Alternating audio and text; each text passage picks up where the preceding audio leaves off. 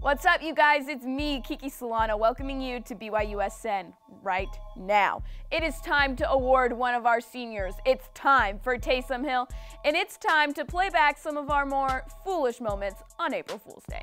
Let's go.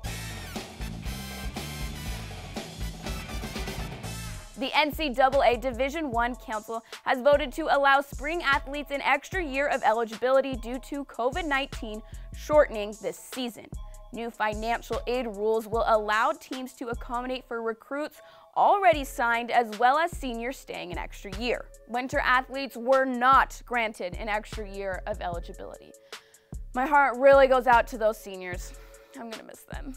One of those seniors is Yoeli Childs, who was named to the Senior Class Award All-American Second Team. This season, Yoeli averaged 22 points, shooting 57% from the field and 49% from three. He also became BYU's all-time career leader in rebounds this season, passing Kyle Collinsworth, who, by the way, was our last Coug to earn senior class honors in the 2014-2015 season. Congrats to Yoeli on the award. He absolutely deserves it. Now let's get some football in here, starting with Taysom time. We love any good thing going around about Taysom. We're, we're biased like that. Here's what New Orleans Saints head coach Sean Payton had to say in regards to Taysom Hill. Quote, our quarterback Drew Brees has announced he's coming back for his final season. I think Taysom sees himself as being a starting quarterback in this league, and we do too. So it's fun to see Taysom in that Swiss Army knife role, but it would be a lot of fun to see him as a starting quarterback in the league. And it's good to hear that we're not the only ones who think so. While we're on the NFL, let's get to some of our guys prepping for the NFL draft. The cancellation of Pro Day hasn't stopped our Cougs from putting up some big numbers. Now, I could stand here and read you all the numbers, but I want to show you them in a fun way. So let's roll the highlights.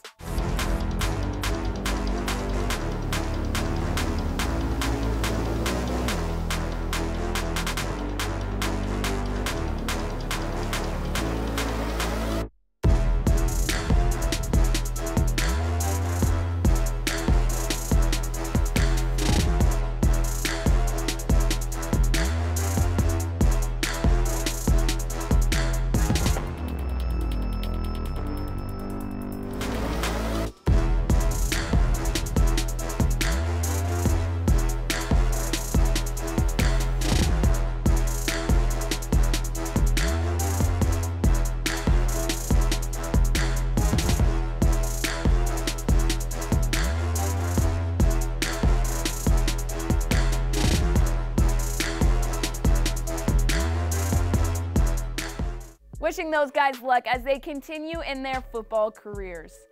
It's going to be weird not having them on the field for BYU, but one guy that will be on the field for BYU next season is center O lineman James Empey. ESPN ranks James as the 10th best returning offensive lineman in the country. He has the highest pro football focus pass blocking grade amongst centers since 2018 and is ranked third nationally in run blocking grades. That's impressive. We did it, you guys. Somehow we made it through March. Today is April 1st, which makes it April Fool's Day. I love April Fool's Day. In fact, I had some big plans for today, but had to cancel them due to coronavirus, but it's okay because instead I'm going to show you guys some of our more foolish moments in BYU athletics.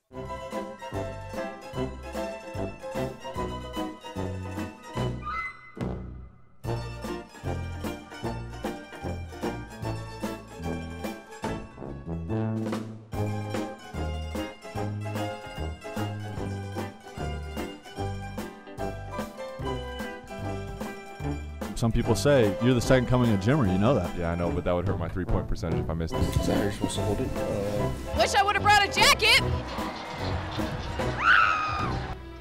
you picking your nose? Yeah.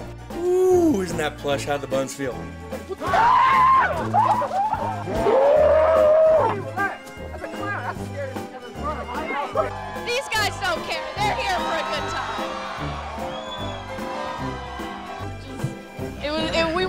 I'm ready for that. I'm Kiki Solano, and this is BYUSN right now.